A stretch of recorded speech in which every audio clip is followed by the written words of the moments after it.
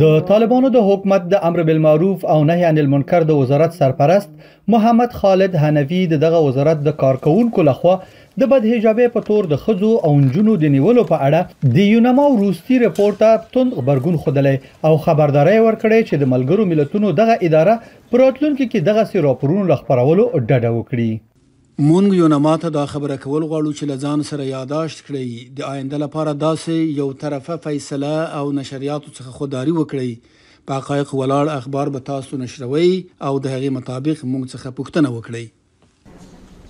د سیاسي چارو کارپوهاند حنفي دغه څرګندونې یونما ته ګوتڅنډنه بولي او وايي چې طالبان باید د مېرمنو پر وړاندې خپلې تګلارې بدلې کړي. امر بالمعروف یو نما تهدید کی او یا ووایي چې دا یک جانبه دغه دی، زه فکر کوم چې بهتره دا ده چې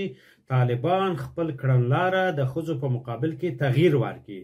ښځې باحجابه دي، حجاب د افغانستان لپاره نوې مسله نه ده، د افغانستان په طول د تاریخ کې افغانانو حجاب مراعات کړی دی. او دا دین او شریعت دا نه دی چې اولین بار دغه دوه نیم کاله طالبانو راوړی دی دا دین افغانان په سوو کلو کې مسلمانان او مسلمانان پاتې شوي دي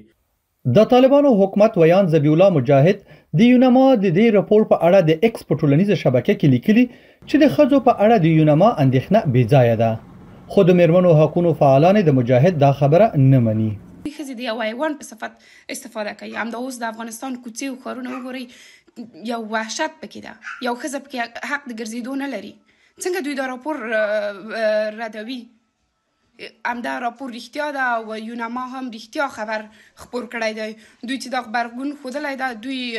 په دې ښودلی ده په دې چې دوی همیشه غواړي خپل د کړنو نه پرده پې واچوي خپل په کړنو هغه کار چې دوی کوي غواړي دوی پرده پې واچوي تر کله به دوی دا پرده واچوي همیشه به دا پټوي او پس شا به دوی دا کارونه کوي آیا دته زور ویل کیږي دته قدرت ویل کیږي دته اسلام ویل کیږي چې ښځې وړیا